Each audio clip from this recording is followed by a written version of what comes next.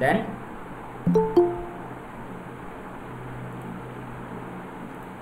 increase production rate. increase production rate great. Any other answers? What is the need for automation? So we have uh, most of your answers are very correct that automation solves most of the issues that like uh, resolving human errors or mitigation of human errors followed by you you make your work easy and you have a faster rate of production you have a lot of other advantages as well. But how did it all started with? Okay. So in early 1940s we have steam engines. Steam engines were used in automation to make the work easy. Uh, maybe especially uh, steam engines were used uh, in processing industries. Maybe it, it deals with food processing or any typical processing industries even for mining etc so they made automation in those sectors where human uh, intervention or human efforts are very huge. So steam engines were there in 1940s and 1960s we got steam engines replaced with diesel engines. Okay this is like an elaborated um, explanation on like how automation evolved. And after in 1980s there were a huge uh, impact on the industry where there is a huge transformation that happened. And most of the engines diesel engines were replaced with because they were very costly they were supposed to be maintained at regular intervals. At times they used to break down. And all these things were uh, mitigated or solved to a greater extent by electrical motors. So electrical motors you have many different types. Like you have ac motors dc motors and all. And after in 1990s these electrical motors were also controlled by um, control systems which is uh, generally termed as the era of fully controllable automation in uh, diesel engines and in steam engines you cannot have a greater control. That means your controlling aspects will be very very narrowed down. But uh, when it comes to 1990s you have PLCs that were invented and then these PLCs and microcontrollers all these things came in early 1990s and in later 2000s we have very full-fledged automation that is a plant level automation or maybe an enterprise level automation we have distributed control systems we have supervisory control systems and for data acquisition we have systems. And uh, the whole system has become more intelligent and it is adaptable and so we call it as a flexible automation. So this is like a complete evolution of uh, automation. And uh, we'll see like what are the opportunities in automation and uh, computer integrated manufacturing so we have a manufacturing support system like your production unit. Let us say in your apparel, apparel industry uh, you have a lot of uh, manufacturing systems. Maybe rolling maybe weaving rolling dyeing okay? And then uh, what do you what do you call uh, cutting then followed by sewing and followed by further processing like maybe designing all those things comes into picture. So for each of these processes you have some supporting systems. Okay. What are these supporting support, supporting systems are meant for? So for weaving you require a loom or, or maybe a power loom which generally weaves the clothes at particular rate. So what opportunities you find there or what is the potential application where you can put the automation into a loom or a power loom? Can anybody answer? What is the potential computer need sir like uh, when uh, we are weaving any on the loom there is chances to break uh, any uh, any any uh, fiber of cloth so if we use automation we uh, if we use automation we can when there is a breakage in the thread that machine can automatically stop the loom yeah, that is one potential place. Then? And if there is any defect so it, it also can be detect a defect. Where is a there is defect then machine can uh, say that exactly. yeah there is in exactly. this, that part there is a defect. Exactly. So what else could you automate there? Sir the designing can be easy. So what parameters you actually look in while you are making a uh, a fabric out of a loom? What parameters what engineering parameters you have to look in? Any idea? You have to maintain the uniformity of the threads. That means you have the distribution of horizontal and vertical threads in such a pattern that they have to be uniform. That is very first requirement. Then only you can expect some qualitative outputs out of your loom followed by what is wh- where and all the errors are coming. For example very often the machine undergoes a breakdown and you have to replace all the strands again to start the weaving. Is that a good process? No definitely not because your breakdown or thread breakdown or whatever that happens in between you have to replace it again and again. So that part also you, there is a potential need for automation. That means automatic uh, what do you call? Uh, dissection of uh, unwanted regions you can automate followed by you have to maintain the thickness. The thickness of the fabric has to be uniform if not what happens? Generally what qualitative things you look in a fabric qualitative aspects of a fabric. Any ideas? Sir, what? GSM, GSM, gsm very good. EPI, PPI, sorry? EPI and PPI. what, what are those two terms? Because i'm very new to the apparel industry so i don't know a lot of things. Sir, it's uh, ends per inch and picks per inch. Okay Like So in, how- a, in a in a inch, in a inch, how many weft threads and like Okay. wa- warp threads? that is and- more like a resolution can i can i talk in terms of resolution of a fabric Yes. Sir. okay and any other thing Sir, Right. length of the uh, weft length, uh, weft thread. okay Hori- horizontal thread lengths and Uh, vertical Vertical length. length. okay so length and width of a fabric. Anyways that is that is a variable parameter where you can physically do that. So i'm talking about parameters which are in process. Like for example while the process goes on what parameters you have to look in? So first thing as you said uh, maybe the thickness and the resolution of horizontal vertical threads okay and the gsm gsm stands for the thickness as well. Then what other parameters you have to look in okay that is pertaining to loom. Okay. And when you are when you are cutting down the fabrics when you are slicing down the fabric what parameters you have to look in again? The qualitative and quantitative parameters. Uh, sir, it's it's weave design, the type of the fabric. great. Type of the fabric the very first thing. Which type of fabric you are cutting? Then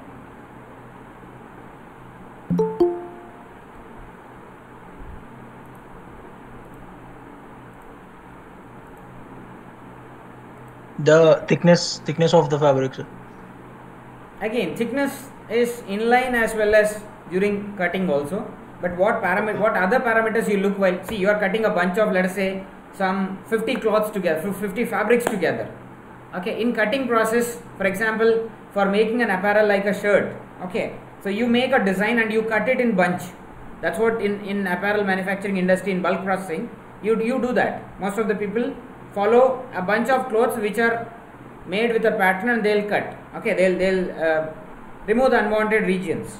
Okay so while doing that process number the bunch the thickness the bunch okay the height of the clothes that are fabrics that has to be sliced down or maybe cut down is a very important factor. That is one potential thing where you can impart um, uh, uh, where, you can impart the automation into picture right?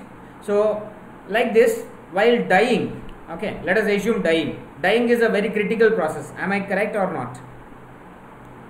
That's a pre-processing. When you when you start uh, putting the the threads into the loom you do dyeing or maybe you have certain things which are post process dyeing that is after making the cloth or after weaving the cloth you dye it am i correct or not Yes, sir. Okay. So pre-process dyeing and post-process dyeing. There are two types of dyeing, if I am not wrong. So in pre-process dyeing, you make the thread go into a dyeing process and then dry it and put all the things into the loom. So the loom will make the cloth or a fabric. And when you are making fabric, so if you are making a plain fabric, you can dye it in multiple colors. But when you are making a pre-processed thread, it is limited only to a particular color. Am I correct or not? So which one is which process of dyeing is better in your terms? You have a subject related with dyeing and all those things or any concepts related with dyeing? Yes, sir. Okay. So we have after this manufacturing systems whatever we have we have to look into the applications so for this i have said this example that you have a potential automation application in pre-process dyeing or maybe a post-process dyeing. Am i correct or not? And after this when your when your fabric is properly made and cut down into according to your stencil or whatever you choose what is the next process? It is sewing or stitching. Am i correct or not? Can, can you please respond hello? Yes, sir. okay. So in sewing or stitching process what parameters you have to look into for optimization or maybe automation?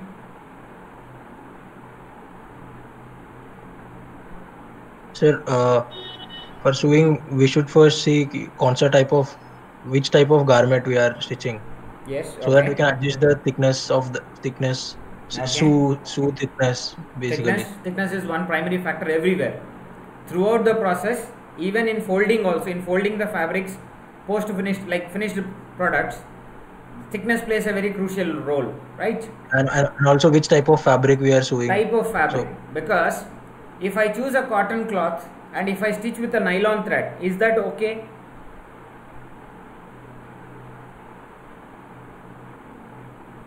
In some cases they do.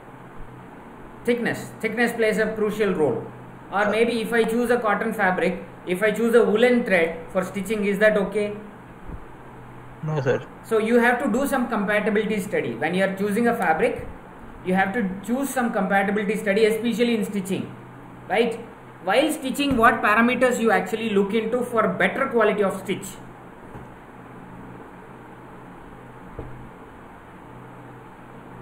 Speed. Okay. Stitch length, sir. Stitch, Stitch length, length very good. Stitch length. Then, what happens if the stitch length is very very high? The garment, durability the durability the of quality, stitch the quality gets reduced. yeah sorry quality gets Quality of a garment gets reduced. will gets reduced yeah exactly so stitch length has also to be considered as one primary factor so in order to get a good stitch what parameters you look into. Length of the stitch okay then tension tension of your thread. If you have a loose tension if the tension is very very loose what happens to uh, let us say the quality of the thread? Will it be exactly the correct stitch what you have desired? No, sir. no. Okay.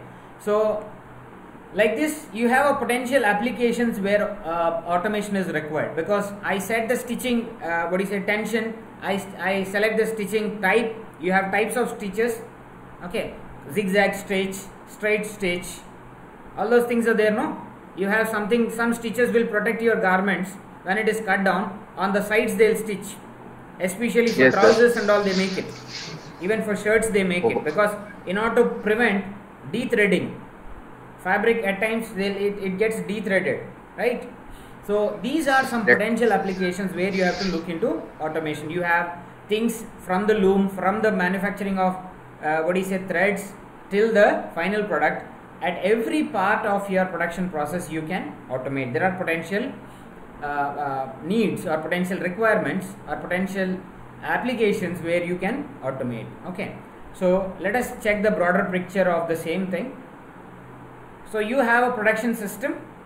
You have a huge production system. Let us say some garment company.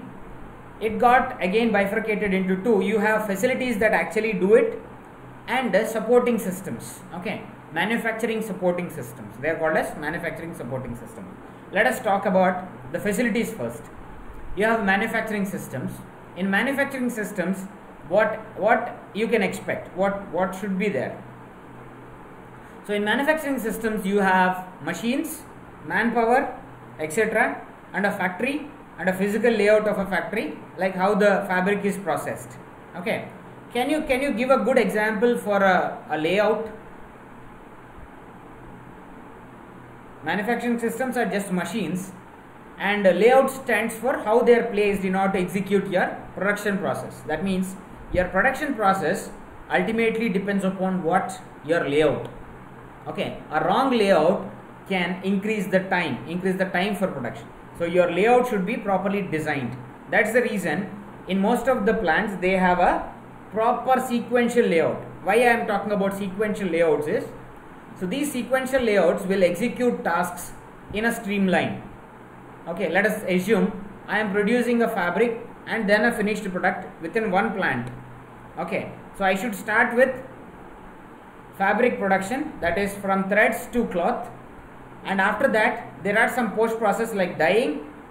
Okay some some post process treatments rolling etc in order to prevent the retention or in order to retain the strings in it in their position. Okay so you apply some starch at times to the clothes in order to make the clothing stiff and stable. Yes or not? And after that this has been rolled and these rolls are transferred onto streamline production centers like for cutting okay according to your stencils or whatever the methods you use followed by stitching folding okay and do additional needs like buttons okay additional um, add-ons to the pro- uh, finished product. Then followed by transportation or storage and transportation. So this is a complete factory layout okay. In this can can you suggest like where i can put automation into like which and all places i can put the automation. Every place like in a plant layout i can make the automation at every possible place. Then coming to the next part which is uh, manufacturing support systems. Okay. So anything that supports for these two things is called as a manufacturing support system.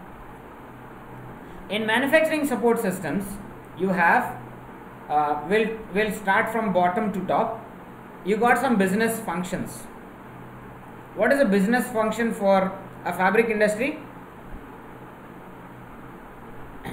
To get the orders okay from different vendors and then you process your raw material through a manufacturing control okay so a business requirement may need let us say some 10000 fabrics within a short span. Let us say within like one week or maybe 10 days 10000 uh, fabrics or 10000 uh, uh, finished products has to be moved out of your storage room right? Or a warehouse. So for this what manufacturing control you have to do? What is manufacturing control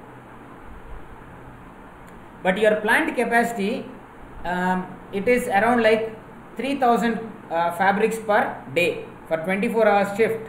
It produces some 3000 fabrics. But your requirement is uh, what do you say 10000 fabrics within 10 days. So how you have to control the flow? You have to control the flow that within like maybe like 8 days or maybe 7 days you have to finish the work. Because you do you cannot forecast what kind of breakdowns or what kind of manpower shortages that fall okay during the process. So manufacturing control will deal with that right? Manufacturing planning. What is this manufacturing? See both are together. Always manufacturing planning and control are together. How do you plan the manufacturing? Because the, the the need is a new design. So you have to find out whether this new design can fit into your factory layout. Okay so this this is the new design. It has been fed to planning. So planning people will talk to factory layout and they will finalize. After that it will go to the it won't go to the manufacturing system straight away. It will ask for a manufacturing controls approval then followed by manufacturing. After this manufacturing happens it will go to the business functions to transport to sale whatever right? In every part of this okay in every part of this there is a possibility of computerization and automation. Is this things clear? Yes, sir. okay. Am i going too fast? No, sir. okay. So shall we switch on to the next part of the thing? Okay. Right. So where and when to use automation production process you can use automation that will control automated machine tools maybe a fully automated sewing machine, fully automated loom machine. So that's a very first point. In all the machine tools, you can apply automation. Okay. Second thing is, I said, okay, there are 100 sewing machines within a factory. So it produces every minute like five fab, five finished fabrics or finished products.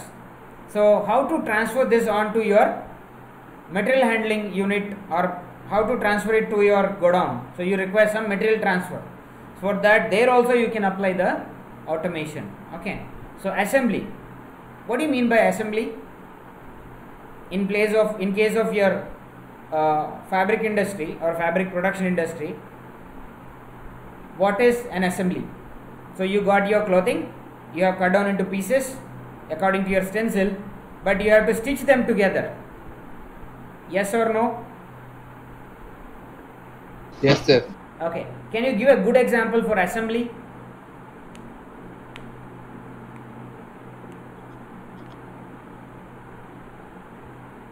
So like uh, if it if an industry produce a shirt, so shirt have different parts like sleeves, collar, and uh, back, good. So these part are stitched separately, and in the assembly they are joined together. Though, Okay. so this is a example. Okay. So what what major problems you face while you are assembling multiple fabrics together? When you are assembling two or more fabrics, okay, especially in suitings, in suits, you have this thing. You have maybe three or four layer. It's it's a four layer or two layer or maybe three layer product. Yes or no? Interior you have one lining. In between you have some fabric which is called a support fabric. And exterior you have your your actual finished fabric or maybe a high quality material right? Which has that glaze and all right? So while you are assembling these uh, fabrics together okay there is some pro- some problem that always comes into picture that is your fits and tolerances you know what is a fit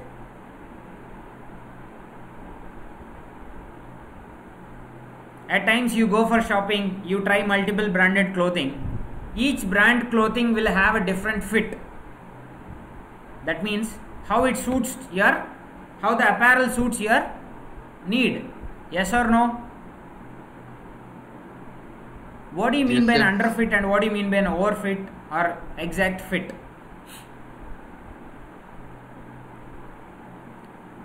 while you are stitching also you allow some you make some allowance okay? Maybe like 1 mm to 2 mm allowance in order to make the uh, fabric or uh, what do you say? In order to make the multiple fabrics which are stitched together pliable and you can stitch them together. So that 1 mm tolerance at times it might increase okay so in assembly process this is the biggest problem. You have some fits and you have some allowable tolerances. So if you are going beyond that you cannot tell that fabric belong to a particular fit. For example fabric which is shirt number let us say 40 40 will have plus or minus 1 centimeter. Okay. If it is going beyond 3 3 centimeters will it be still considered as a 40 length shirt guys i need some answers sir. from you No, sir. No, sir. so in assembly, all these problems comes into picture. So in case of a manual process, you can expect some problems in assembly where you can completely automate this process. Okay, machine tools, material handling, these are simple processes, but assembly is a very crucial process. Okay, if your assembly goes wrong, all your raw material will be wasted. Yes or no? We have a Yes, fourth sir. thing robots in place of human okay. So robots that need that doesn't mean that it look like a humanoid or it look like something very sophisticated. Certain machines are also considered as robots which make the automation process very very simple okay. So robots are generally used where human intervention or repetitive processes are very boresome. Like people like us will get bored after multiple repetitive tasks for example, if I ask you guys to listen class for like 12 hours, will you be able to listen to the classes? Definitely not because it's a continuous process. Okay, it's continuous learning process. So you cannot even learn continuously. how can you work continuously it's not a it's not a pro- it, it's it's a huge problem so in places like that you can replace some robots or some intelligent systems okay which can do the repetitive process without fatigue and failure okay the failure rate is also very very less. So uh, these are the four places. The very first one is machine tools. In machine tools you can do some automation. Okay in transferring materials you can do some automation. And in assembly you can do a lot of automation. And in inspection and qualitative outputs you can do some automation. Clear? Okay so let us move on to the next part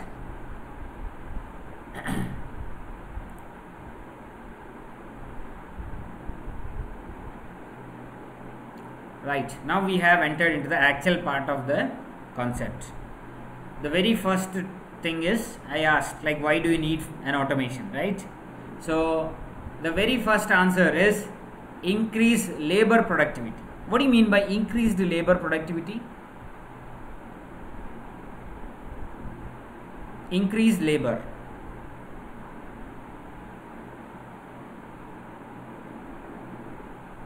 Any answers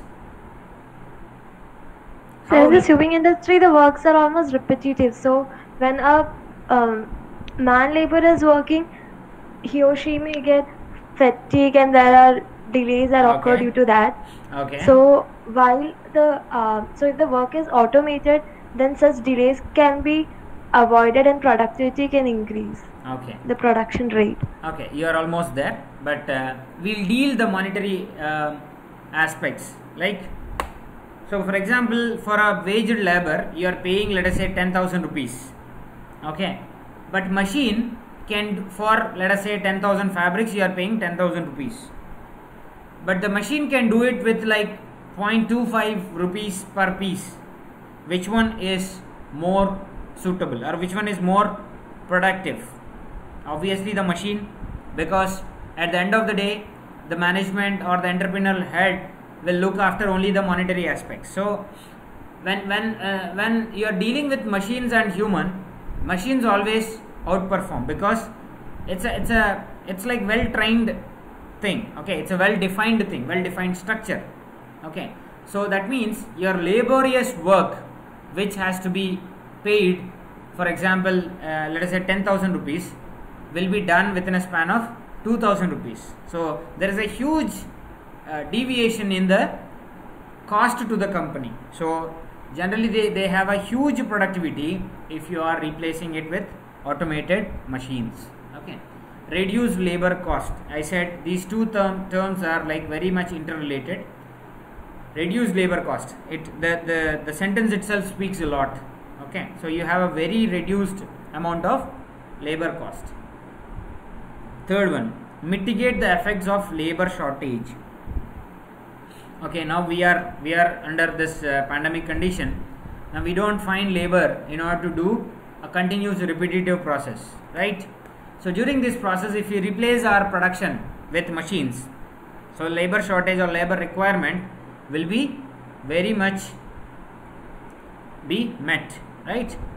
So labor shortage can be overcome right then what is the fourth thing? Reduce or eliminate routine manual and clerical tasks. So all the repetitive tasks can be eliminated. That means a person who is working for let us say 8 hours can will get definitely boresome so his throughput or the productivity goes down at the end of the day. But machines machines don't have any feelings. Machines don't get uh, fatigue they don't uh, actually undergo all this psychological impact. So you can eliminate all these routine manual tasks um, uh, or clerical tasks which are supposed to be done by humans can be replaced with machines. The the next one is improve worker safety. What do you mean by improved worker safety? How automations can automation can improve worker safety? Sir, uh, yeah. so yeah, yeah, basically ahead. some, some please Hello? go ahead so basically some uh, workers like uh, workers cannot reach to some parts of the machinery inside machinery okay and some some machinery you know some dangers can happen in the industry. So Okay. like automation can cover those costs. Okay. So generally, worker safety can be improvised by creating interlocks. Okay. What do you mean by interlock? For example, a robot is working within a cell. Okay. Within a cell, it is working. It got a door. It got a door. That means whenever human wants to get into that work cell, he has to open the door.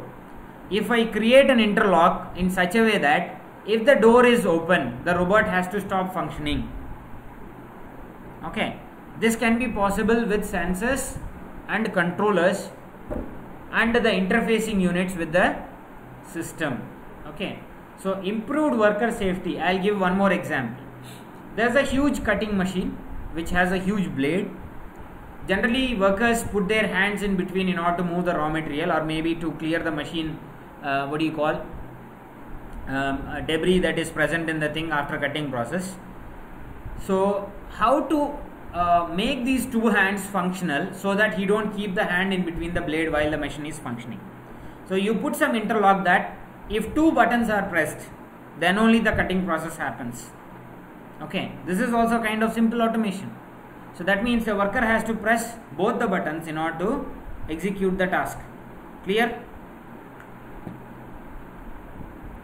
Yes, okay sir. That, that in that way you can improve the worker safety to a greater extent possible. There are certain automation laws that states that worker safety has to be given at the highest priority okay so the good example i'll, I'll tell you a few more examples uh, for example unknowingly there is a fire in the in a factory layout okay are you getting it am i audible Yes, sir. Yes, sir. Yes, sir. okay so there is a there is a um unfortunately there is a fire so this fire alarm instead instead of just simply giving an alarm if it is taking some decisions like to sprinkle some water or to sprinkle some powdered carbex onto the fire area. So that will actually reduce the damage. Or it will it will, it will also can protect humans from fire accidents. Yes or no? So systems like this okay spraying sprinkling water if it is if it is not a uh, what do you call oil based fire sprinkling water is the best solution followed by escalating these uh, safety levels. For example if one plant there is a fire or one machine there is a fire. So to a machine level it has a control. If one's complete uh, set of machines caught in fire so it's like a plant. If it is the whole factory is in fire it's like a plant level. So the fire safety also can be escalated at a different levels or the fire safety control also can be escalated into a levels. So at each level you have an alarm you have something related with stoppage of machines. You have something related with electrical shutdown. Okay. And you have something related with a public addressing system that will announce that this particular plant plant this this particular machine was in fire. So whoever are going there so don't go there. Something like that we can address to the rest of the public in order to avoid panic condition during fire. Okay. So all these things are possible with an automation. Okay automation can meet all the requirements something like this. The next point uh, deals with improved product quality. Can you give a good example for this? How you can improvise the product quality? Uh, sir, if there will be automation in process, then uh, there will be less number of defects. Even there will there will be not defects okay in a garment. So uh, so it will uh, increase product quality. what do you mean by defect in a garment So there can be defects in garment, like what can, uh, can you can you can you please uh, let us know like uh, what kind of defects you find in a garment So it can be anything. Maybe uh, if in shirt uh, buttonhole is not done by mistake, buttonhole Okay. is not done, or so uh, such such defects can be uh, uh, like such defects cannot be. Uh, given to the defected product should not be given to the huh, customer yes. what happens Uh, if you sir, do that see for example a defect product reaches a customer will he still purchase your product again? No, sir. What No, sir. To, what happens to sales in that case? Sir, sales decreases or company ka name also decreases. There might be a defaming of the company's name and fame, like Yeah. right. So, improve product quality talks about multiple terms. In quality aspects, you have a lot of terms that you can automate it. Okay. So the best example is uh, somebody was telling if some button hole was not present, how he'll wear the shirt, right? That's a huge defect. Okay, that's a huge defect. So at times you can find some fabrics which are getting discolored while the process goes on. If the dyeing process is not done with a, within like a stipulated time, you will have under dyeing. Have you heard the term under dyeing and over dyeing? Yes, No, sir. sir. No. Yes, sir. Okay, there are some mixed answers. Okay, if the dyeing time is increased and the dyeing parameters like steam, temperature, etc. are in- increased, you will have more dye that is stick to the fabric. That is called as over dyeing. When you allow the fabric to settle for a lesser time, and if you are removing the whole fabric from the dyeing uh, dyeing plant, okay, so you have under dyeing. That means whatever the required uh, pigmentation that won't happen on the color pigmentation that won't happen on, on the fabric. So that is called as under dyeing. So these under dyeing will be visible properly only if you dry the cloth properly. Like when you dry the cloth, then only you can visualize the proper color of the fabric. Okay. So this will be again if it is processed to like cutting, stitching, and then folding back and giving it to customers. Once he'll wash the cloth, okay, the immediate next day, whatever the orange color shirt he has brought will turn to a pale yellow color. Yes or no? At times you might have encountered all these things. Okay. So this thing happens because of a improperly processed product. Okay. So at every point you can put a checkpoint that if the process has been done according to the standard operating procedures or not. Right? So SOPs can be included into automation, thereby you can improvise the quality. Okay. Reduce manufacturing lead time. What do you mean by lead and lag time?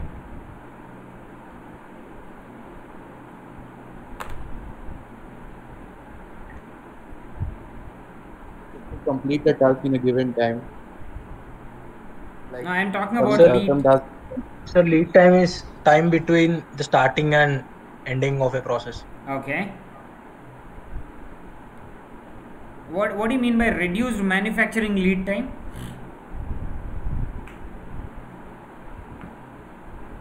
That uh, Sir, means you can example, minimize. You can minimize the manufacturing time. Am I correct? Yes, sir. If the manufacturing time is reduced, what happens to productivity? Increases. It will def- definitely increase. Okay. Keeping all the quality checkpoints, if you are increasing the production, what happens to the business? So Obviously, business also- business also will Yeah. increase. If I am not wrong, growth in okay, that's a profitable thing. Am I correct or not? Yes, so, sir. so by inclusion of automation, you will have a manufacturing lead time reduction. Okay, so the last two points, uh, which is accomplishment of process that can cannot be done manually. I think it's very self-explanatory. So automation will deal with things which cannot be fully done by human beings, or maybe which is very hard to be executed by human beings. Avoid the high cost of non-automation. The last point. What do you mean by high cost of non-automating?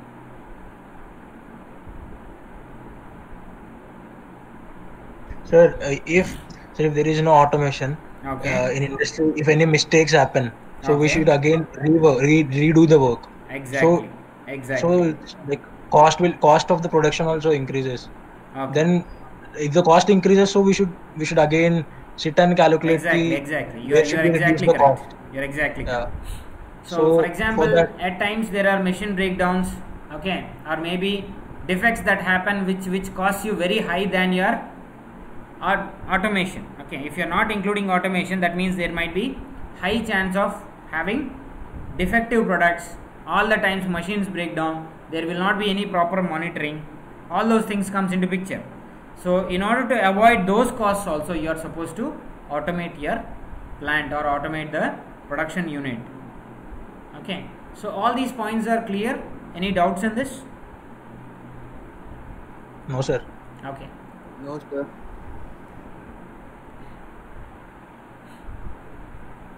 So now we'll go to the classification of automation. But uh, if you need any break or something, you can take at this moment.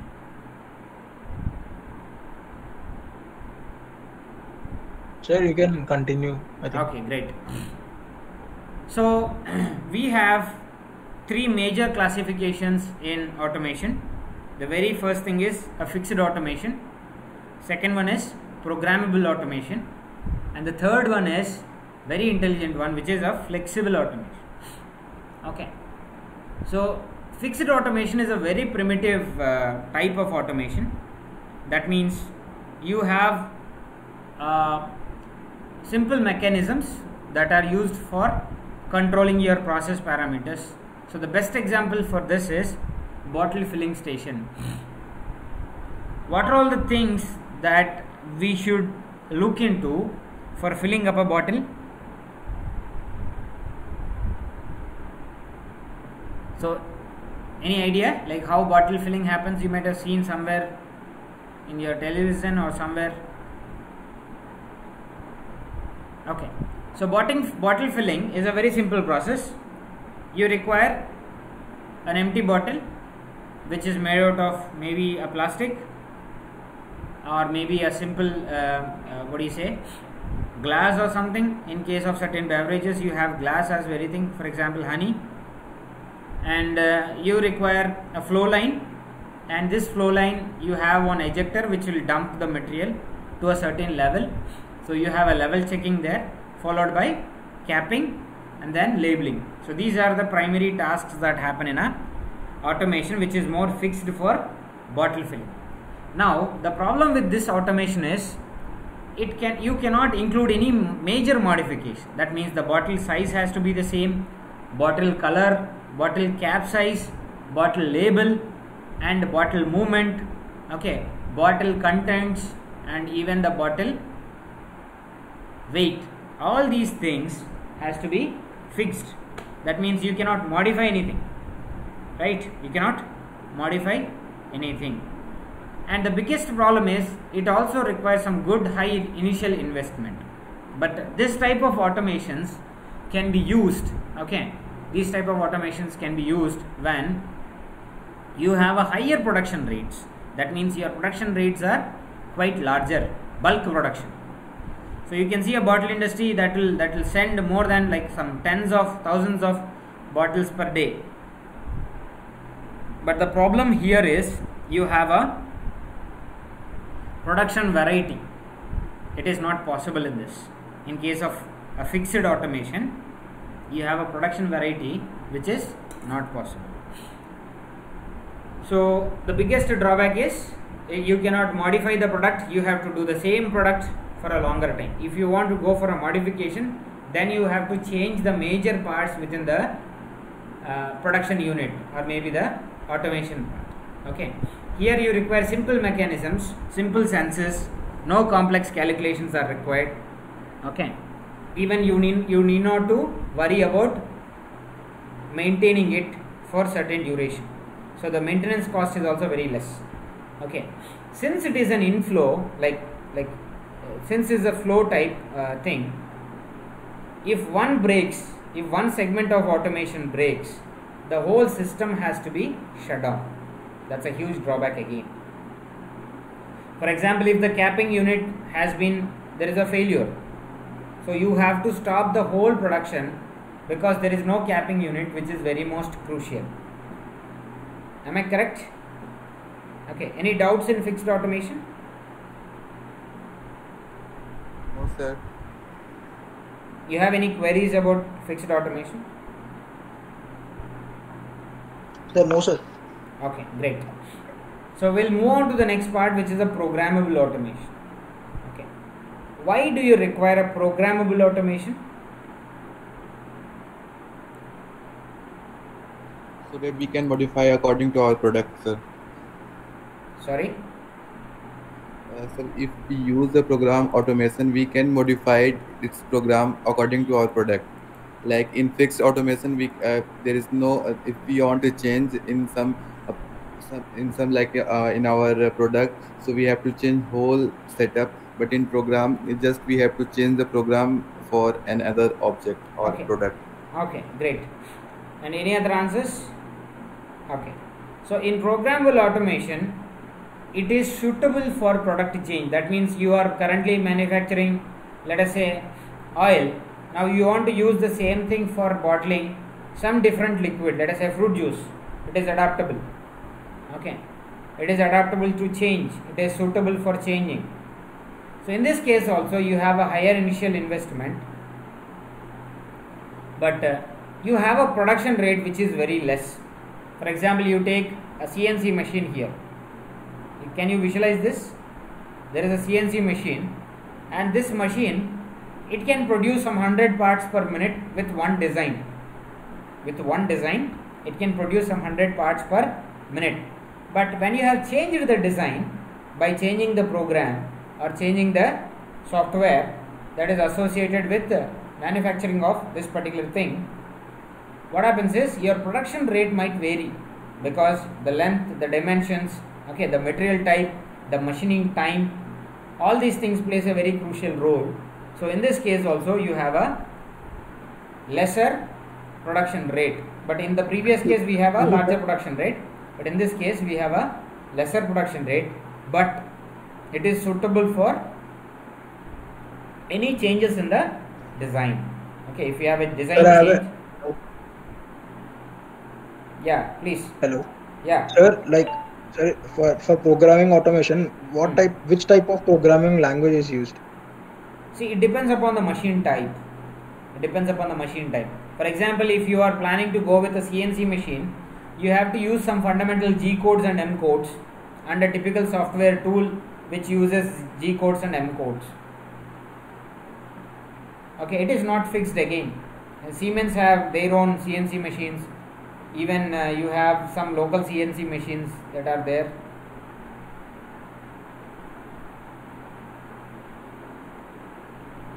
Okay. Okay, sir. Okay, sir. Okay, sir. So shall we go? Shall I go ahead? Any other Yes, sir. Yes, questions? sir. Great. No, no. So you have something related with this. One more very, very much very important uh, concept is this particular automation is suitable for batch production. Okay, this typical one is suitable for batch production. That means you make you take out the uh, the batches based on time. Okay, based on time. If for example today if I make spare parts related with motorcycle, tomorrow I might have a requirement that I I should manufacture something related with car, right? So there is a product variability and you have to do it in batches. Even in apparel industry also, this is the most suitable automation. This is the most suitable automation, which is programmable automation. Okay, so day to day fashion changes, yes or no? Yes, sir. Yes, sir. Okay, so how many of you do agree on this? Day to day, there is a huge change in fashion. Totally agreed. Sorry, All of Agreed, the yeah. everyone, everyone do agree on this. Now, today, if you are making a typical style shirt, typical design shirt, tomorrow it, it will not be any more available in the market, right? In that case, your your system should be adaptable to that change. In this case, it is very much possible. Okay. Now, any other thing related with uh, apparel industry that requires programmable automation? Today, you might be like like the fashion trend is something like people are wearing a bright colored clothes. For example, I'm telling it might not be true, but uh, after a few months, people started wearing dull colored clothes, maybe uh, light colored clothes. Okay. Now, in that case, your dyeing cycle is the only thing that impacts. Rest all the production process will remain the same. Yes or no? Only that particular section of your automation, uh, so that particular section of your plant, you can automate or change some parameters in a program that will give you the correct productivity requirement, correct production requirements. Clear? So programmable automation is more suitable for apparel industry. Okay. Now, what additional things where you can look into a programmable automation? What additional benefits you get if you if you have a programmable automation?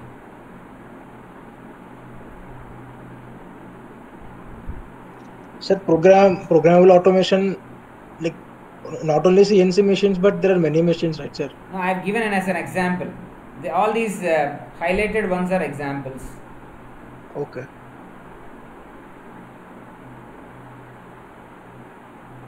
Okay. Shall I shall I um, give one more example where this programmable automation really suits apparel Yes, sir. industry? Okay. In summers, you have a cotton cloth, which is a very highly moving product in the market. Yes or no? Yes, sir. Okay. So there is a seasonal shift that happens during rainy season. Okay. Some uh, what do you say? Non-cotton fabrics do have a very huge demand because water repellent shirtings and clothings people do wear. Yes or no? And during winter seasons, you have a huge demand for thick clothes or maybe woolen based clothing. For all these three variants, are the stitching parameters, dyeing parameters, or any typical production parameters are the same? No, sir. Definitely not. Both are, all the three have different parameters. Okay. So even the technology for manufacturing all these three is different. If you want to start a company or maybe a production unit which can produce any typical clothing, so you you should go with a programmable automation. That means you change the parameters that will be considered for that particular clothing or for that for that particular apparel. Clear? That means you tune the parameters for for making the cotton cloth with some program during like summer season where the demand is very high and during winter season you make something related with woolen or a thick clothes which are suitable for winter wear similarly you you can program something related with water repellent shirtings and clothings during the rainy season. So all these things the machines are the same but only the parameters vary which can be done using a programmable automation. Clear? Now the topmost one which is very much self intelligent which is uh, very much adaptable to uh, anything but in case of your programmable automation the productivity is a bit low because your your uh, the, the parameters that has to be tuned will take some time. So you you require some time for uh, what do you say production process. Okay. Then followed by flexible automation. Flexible automation is a very very intelligent automation system. You have multiple products which which are uh, mixed variants of products can be produced in this okay? So these are high investment uh, customer engineered products. That means only some particular requirements vendor uh, customers do give okay? So based on that uh, all these automation industrialists they, they perform that they make some studies and they give that tailor fitted engineering solution for flexible automation okay. So flexible automation you have a mixed variety of products right? You have a medium uh, production rate but uh, you don't make these things in batches okay? The best example for this is in in uh, automobile manufacturing industry different cars are manufactured with different specifications right? So your flexible automation is more suitable where there is a change in product and process together okay but in the second case your process is same but your product is varying but here the product and process together varies clear any other doubts in these three typical classifications of automation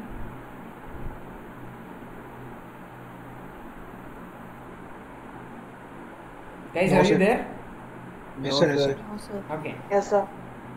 any doubts in this No, sir. No, sir. okay great so So we'll have a break for like 10 minutes and we'll come back. You be online. We'll have a 10 minute short break and then we'll come back. What do you mean by combined operation?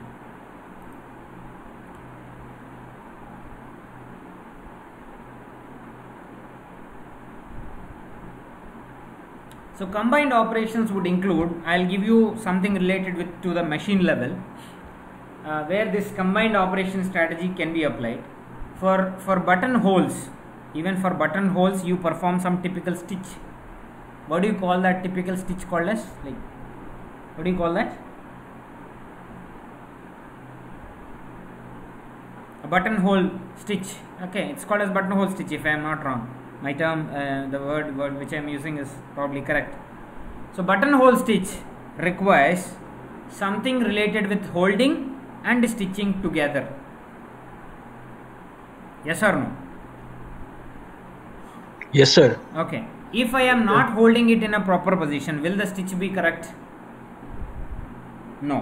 No. Okay. So what what kind of strategy can be applied in order to make a stitching for a button button hole So you have to bring the fabric in the position, then followed by holding, after then stitching. And the movement of the holding position will be varied according to the stitch type. Okay. So combined operation will be something like this. Right? Two fabrics that are hold and stitched together if you are not maintaining that flow okay what happens to this uh, two fabrics two or three fabrics they'll get overlapped okay fabric layers will get overlapped so you don't get a proper stitch that is one typical combined operation can you name a few examples for combined operations? Inline printing. Have you heard about this thing? Your weaving process goes on or your your looming process goes on. At the same time you have a print there. Okay. These typical things are applied on saris or designing while weaving. Something like this. Design layer design making while weaving. Okay. You add all these additional uh, attachments like this uh, metallic threads and all at the bottom of the saris you can find no? So weaving of those things together happens so that's a combined uh, sorry uh, simultaneous operation. Okay. Simultaneously you hold stitch or you just uh, design create a design and then weave or weave and create a design something like this. So integration of operations. What do you mean by integration of operations So combining one or two operation in a in, in one operation. hmm. For example, we can take the sir, uh, button at, attached. For Hmm. in this machine, it, the machine first we have fix the place, attach the button, and then cut the thread. okay So we can we can say that there is three uh, operation which is conduct in one operation. So we can call this combined operation. okay generally uh, you have this uh, uh, what do you say? Um okay i'll give you example of the same thing again. If a stitching machine performs more than two operations in one go more than two operations in one go for example weaving and uh, sorry. So if you are planning to do some operation like uh, let us say uh, integration of two things. That is while holding a button and then stitching along with the process. Like it is stitching the cloth as well as the button together. You have two centers okay? One machine center will do stitching process. Other machine center along with stitching it will create a button or maybe a typical design okay? Generally all these things will be performed on specialized machinery so where you can apply an automation strategy there. That means the position of button has to be known to the machine and how to stitch stitch cycle has to be known to the machine right from placing a button to stitching it together okay? Then improved material handling and storage. What do you mean by improved material handling and storage? For example all your finished goods have been accumulated nearby the machine centers. Your machine center will create the final product and it will drop it somewhere near by the location nearby the tray location. Now these tray locations have to transfer all these machines to the next process which is steam drying or steaming then steam ironing and then folding and then storing in a peculiar boxes that are used for transport or whatever storage. So this material handling system and storage you can follow some good strategy.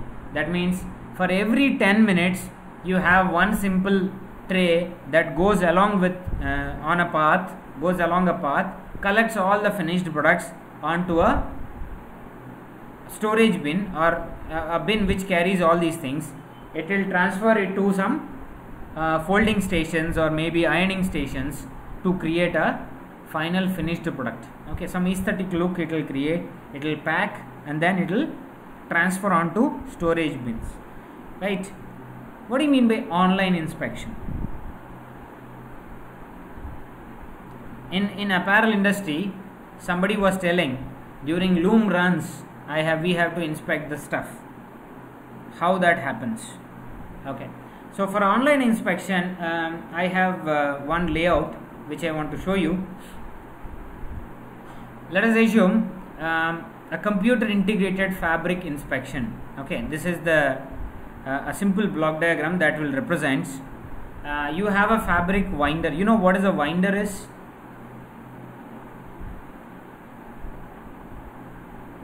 You know winder what what do you mean by winders? Guys are you there? Yes, sir. okay you know you know what do you what do you mean by uh, fabric winders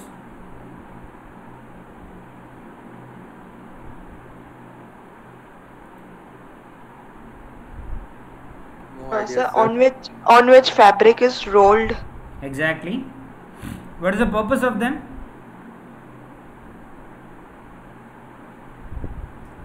So the like for it, if you, if you take example of loom, when the, the the weaved fabric is rolled in that winder. okay So, for example, by inspection, equal amount of fabric is uh, will come out of the roll at a equal speed, so that the person can inspect if there are any defects no in there the is no person's inspection Really? no, there is no uh, uh, human intervention here Yeah. Okay. So it releases the fabric from the. It's not just winds it; can also release the fabric so that inspection everything can be possible. okay great so there are some some uh, good uh, answers which i got but uh, uh, see winders are something which are used for rolling somebody said the answer so it is exactly correct but these winders will always have to maintain this this a proper tension.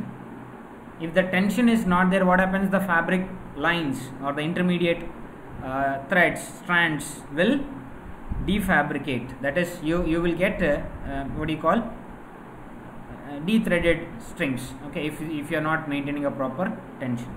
But after maintaining a proper tension okay you can just uh, look into the block diagram where it got like the very primary thing is it got some n number of cameras okay?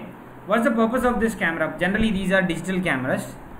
So these digital cameras will take snaps at regular intervals based on the linear movement of this fabric winder. Are you understanding it? Sir sir rolling is happening then where is the linear movement? You got this question? There should be angular movement of fabric. Why it is a linear movement? Any idea okay. So when you are rolling it is from roll 1 to roll 2 right? Roll 1 to roll 2 not between uh, what do you say? Uh, a rolling rolling roller directly to the secondary rolling roller. It is from roll 1 it gets unwinded here. Then it will forms a linear path gets winded at this place. Okay. So at regular intervals you have cameras. These cameras will take snapshot of the fabric at regular intervals. Generally these regular intervals would vary less than a second. If it is an x-ray camera it, will go generally x-ray cameras are used uh, for the purpose but uh, in certain cases color cameras are also used. It depends upon what kind of processing system you have. Okay. So whatever data that we that is being collected by the cameras it is being dumped into a frame grabber so it will grab the frames. It is just like a digital storage. It will take the snaps and stores it in the form of a digital thing. And it will provide the data pertaining to pixel values. That means if there are improper pixels pixels uh, just a second i got a call uh, be online. Okay so you have uh, a frame grabber this frame grabber will tell you uh, like what is the pixels and how the pixel distribution is there. You know an image got some pixels. Yes or no? If the fabric is uniform if the fabric is uniform you got a good amount of pixels that are distributed along the whole image that is captured. If the fabric is damaged there is a pixel distortion. You know what is a distortion is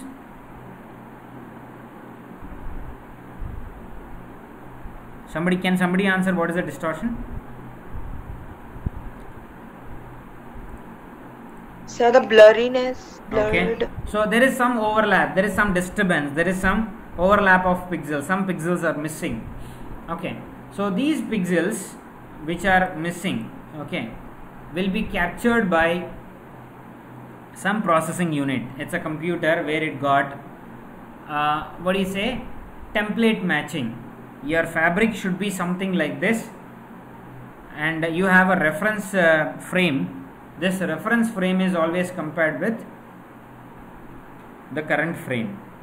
If the current frame is having some defects it will classify the defects. That means you have a defect classification here right? So now after this it will process the data to your monitor that this fabric at this particular location. How will you get the location? Again. Okay at at some 15 meters of fabric you got some distortion. What is this? How you will get it? So you will get it through the encoder. Encoder is something some device which will give you the angular position. So angular position and rpm of the motor or this motor is winding and unwinding no? So this motor will give you like what is the linear displacement and where is the defect that is present. For getting a proper inspection you will have a lighting system. This lighting system in general it is called as diffused lighting system. Okay? This is called as a diffused lighting system. Why diffused lighting? Why can't you put some leds at the background and then run the process? Diffused system will have uniform intensity of light. That means each and every strand of fabric is measured. Okay is measured by your camera if you have a diffused lighting. If a normal lighting is there it cannot. So after this cla- defect classification you have inspection uh, report that is generated. At this particular position of the fabric roll there is some defect if there is any process that can be done in order to minimize that defect or uh, mitigate that defect you can carry out but it is available at the particular location. So what happens the industrial people will actually reprocess if the defect is major. If it is in the allowed tolerance limit you uh, the industrial people will not consider it. Clear? Any idea on this?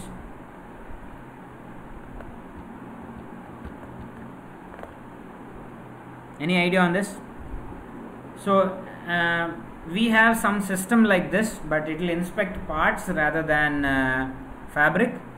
So we have developed in-house everything. Uh, we have some series of cameras and we have developed it through um, um, national instruments uh, which is a high resolution and high frame rate camera. So everything has been done uh, in house if you are interested you can speak to your respective faculty in charge to have uh, some uh, live session something like this uh, from srm in the later classes uh, if it is required. Sir, okay but that is used for uh, robotics not for uh, automation fully. That is basically used for robot control okay? Then uh, process control and optimization. What do you mean by process control strategy? Generally in process if you are attaining a good quality outputs okay and taking a less time that process is called as an optimized process you are taking a good amount of um, output, good qualitative output, and less time and less investment. That process is always optimized process. So you have some automation strategy that is related with uh, process control. That means you control certain crucial parameters where you can get the throughput. When you are getting a throughput and you optimize some more terms in it in order to get a better quality output. What do you mean by plant operations control? See all these advent DCS distributed control systems, SCADA, and all these things will have a plant level operation control. For example, from a control room, I can stop each and every machine. If I am an administrator, I'll have the rights to stop any part of the process, any part of the plant with a simple click. Okay, so that is a plant level automation where you can achieve this plant level operation control and computer integrated manufacturing. Why you require a computer integrated manufacturing? Each and every part of your process is being monitored digitally. Okay, you have a digital report, so you can submit to everybody, whoever comes for inspection, that this digital report states that there is a uh, what do you call something related with this uh, machine going on. Okay, some processes have been done, number of working hours, what is the total production time etc etc all these things can be monitored if you have a proper computer integration with the machinery and a plant clear any doubts in automation strategies till now No, sir. No, sir. yeah please any any doubt? No, sir. okay. Now we'll deal with uh, we'll deal something related with uh, how you have automation devices what is the classification of automation devices and how and where to apply these automation devices right? So automation devices are basically mechanical devices then uh, under mechanical devices you have lot of classifications.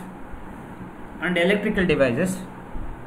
And especially when you are dealing with uh, mechanical devices you have these two things comes into picture which is pneumatics and hydraulics. And when you are dealing with electrical automation you will come across with devices that are related with uh, uh, electrical control right as i said mechanical devices so they run with uh, machines. They run with especially diesel machines diesel engines. So which are very costly. Maintenance cost is also very high. So generally these uh, type of automation uh, things are absolute and uh, most of the companies don't use it anymore because electrical technologies have come into picture then in under electrical you have lot of classifications. One is uh, the primary thing is the motor which is again classified into two. Electrical motor and a sorry linear motor and a rotary one. Under rotary one you have dc ac okay etc uh, in this case also your cost of cost is very low so a diesel engine will cost in terms of lakhs but an electrical motor will cost in thousands, tens of thousand. Will give the same output. It is it has a very less maintenance and running cost. At the same time it got um, um, like you have a wide range of uh, things. For low power devices you can go with a low power one. For a high power requirement you can go with a high powered motors and uh, the other one is a pneumatic. It also comes under mechanical but it uses air as a supply. How many of you know about the pneumatics part? You, are, you might have studied in your mechatronics or somewhere.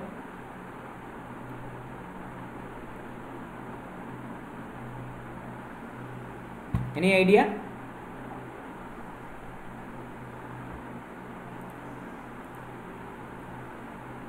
Sir, pneumatics. Hmm. Yes, sir. It was a part of mechatronics subject. Hmm. what you have studied in mecha- um, in mechatronics about pneumatics Uh, the work is done like basically it is connected through to a compressor Hmm. and uh, uh, like in our college they showed us they prepared us a mechatronics uh, uh, exp- like a like a project just to show us how it works Hmm. so we basically we use they used cylinders and all they connected it uh, and using the compressor Okay. if we if, if we press a push button and all so it it tells us how how how the mechatronics how the pneumatics works Okay. basically So you have come across something related with mechatronics. So mechatro- uh, sorry, uh, pneumatics. Pneumatics do have air as a supply, which is a compressed air, because it will generate pressure. So this pressure which is generated, since uh, air is more compressible, it got a lot of dynamics in it. So uh, if air is supplied throughout a particular plant, you require a compressor, and the compressor will distribute air to different lines, and you have some direction control valves DCVs to control the flow of air in one particular direction or maybe multiple particular directions, and control the actuators which are mostly rotary and linear. Okay, you in uh, this case also you got both rotary and linear activation. So the cost is uh, above average, and then you have a less maintenance, and the power is medium. Okay, you have very low or maybe medium power that you can distribute to the devices. And similarly, in hydraulics, instead of air, it is oil. It's a compressed oil. Uh, because generally non-compressible oils only are used because compressed oils will create some problem. So non-compressible liquids are used. So these liquids will generate high amount of pre- uh, pressure. Normally in your uh, earth movers and then uh, excavators you use a lot of hydraulics because they generate a lot of power and the cost is very high. You have uh, potential threats in electrical and hydraulics because electrical systems are always subjected to shocks etc if improperly maintained similarly hydraulic uh, fluids since they are at like 40 to 60 bar pressure what happens is when there is a spill or when there is a leakage it will burst. There is a oil spill everywhere. And it has a high potential to catch fire. Right? So these are some uh, device classifications in automation. Okay. So let us have uh, some relation with uh, fluid based actuators. Both hydraulics and uh, pneumatics are together so in electrical system uh, it is generally uh, an electrical supply. I have written it as a battery but generally it's an electrical supply. And in hydraulics your pressure is generated or hydraulics or pneumatics. You have a compression unit but in hydraulics you have a pump. In pneumatics you have a compressor. So pressure is allowed to move in hoses or pipes. So pipes will carry the pressure but in case of electricity you have conductors. So pressure can be divided uh, into multiple streams for activating the liquid. Similarly voltage can be divided across multiple devices to activate them. Okay. So you have a control electrical control which can uh, switch on and off okay based on the requirement. Here you require an additional circuit called as a direction control valve to control the flow of the direction of what do you say? Fluid or maybe liquid. Clear?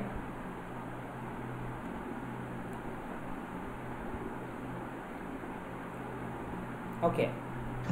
So what is the potential advantage of hydraulic actuators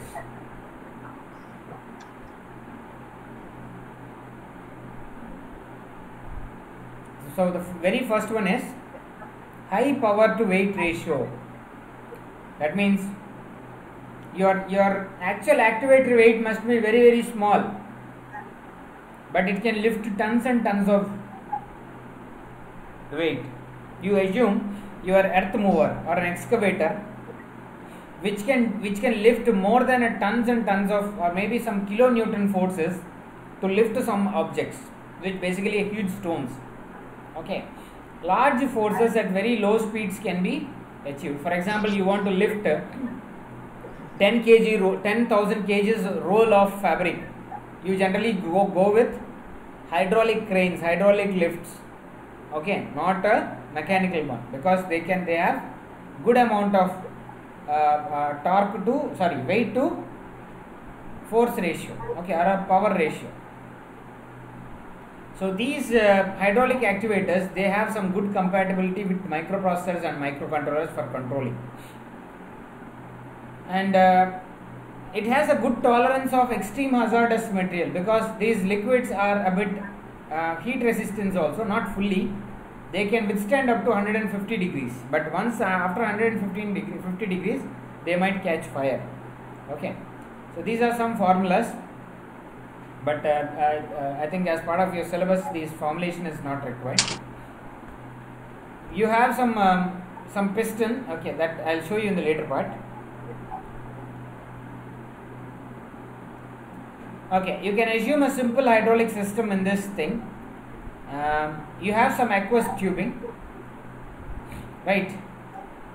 When you have a water fill in this aqueous uh, tubing what happens? It will create a pressure and this pressure will move the piston. You are pumping water from one end or maybe some liquid from one end and you are using the same pressure to have a linear expansion of this particular cylinder. Okay here you are pumping you are giving a pressure and this end you are creating a linear output. That means your your mechanical input is again converted to mechanical output only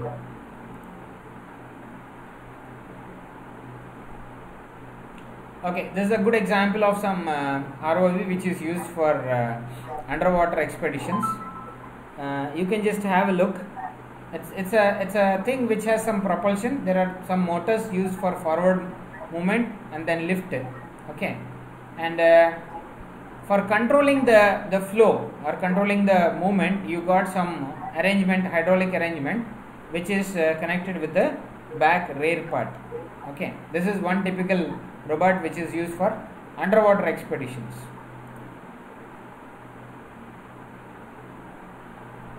Okay some uh, videos are there. I'll share this uh, ppt you can have a look of these videos.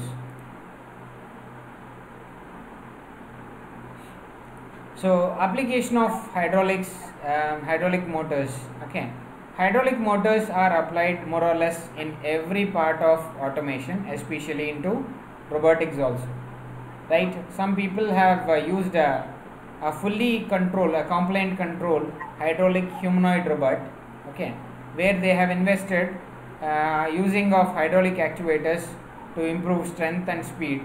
But hydraulic supply is always done through tubings which are connected externally. You can see in the robot you have some external connections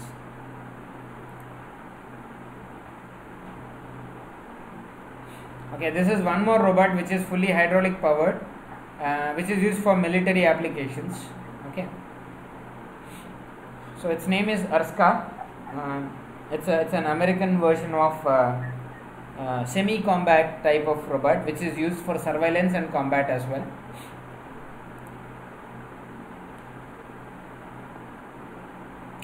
Okay so coming to our linear activators.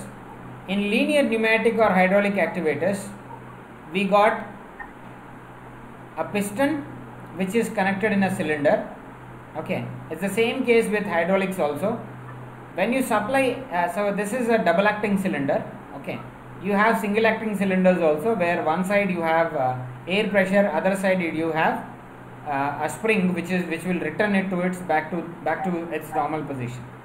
Okay this is uh, one typical brand like uh, fischertechnik which is being used in our um, university for multiple uh, operations. So you have at one end you have inlet.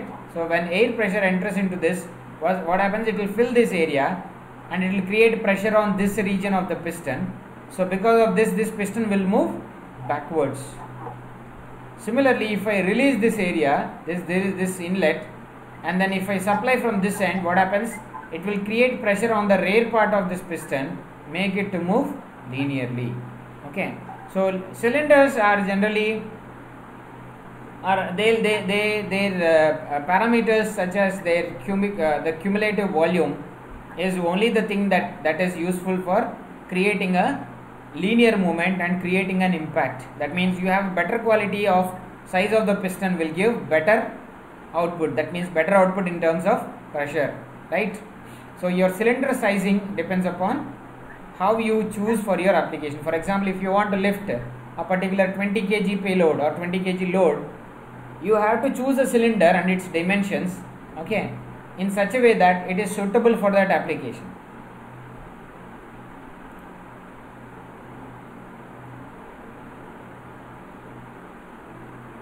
Right um, so you got actuators everywhere like uh, from what is this thing? Most of you guys know about this guys are you there Yes, sir. Yes, sir. what is this thing Camera lens. okay so what kind of camera lens it is DSLR. okay why you choose dslr cameras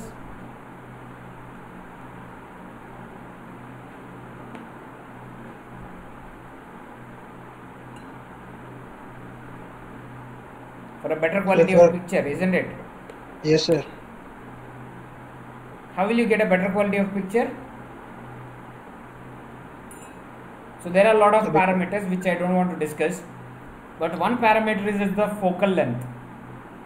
Okay. Dslr are generally they have a mode called as auto mode. What happens in auto mode? Your focal length is adjusted by one internal servo motor so this servo motor will move in an angular fashion in order to get a linear motion. That means your linear motion will tell what is the focal length. So you have one sensor that dis, that uh, extracts the focal length value for the object which you are uh, taking a snap.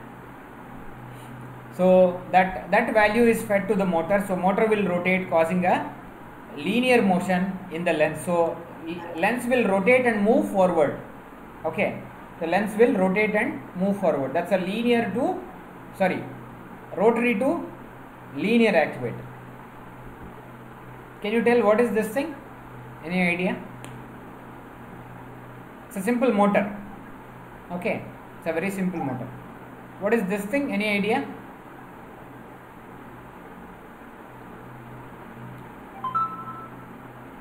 It's a spring returned linear electrical activator okay. It's a spring returned linear electrical activator okay. This is one typical uh, uh, servo motor which is used for a limited angle. Servo motors will give a limited angles.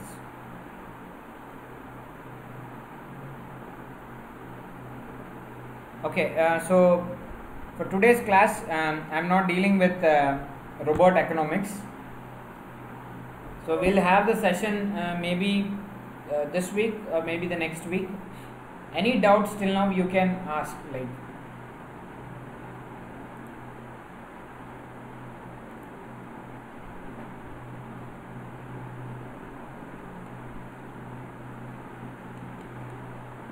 or if you want me to continue with So, sir, uh, yeah sir, I, I want to ask this regarding this servo motor. Hmm. Uh, this actuator, where we can use it, like as you said, it can give uh, limited angles. utilization of servo motors are used basically for adjustment of um, positions. Positions. If you want your for example you have uh, a bobbin in your machine. You want to control the bobbin's position exactly to 30 degrees in every move so you can use a servo there. So it will vary from 0 to 30 every time and it is quite faster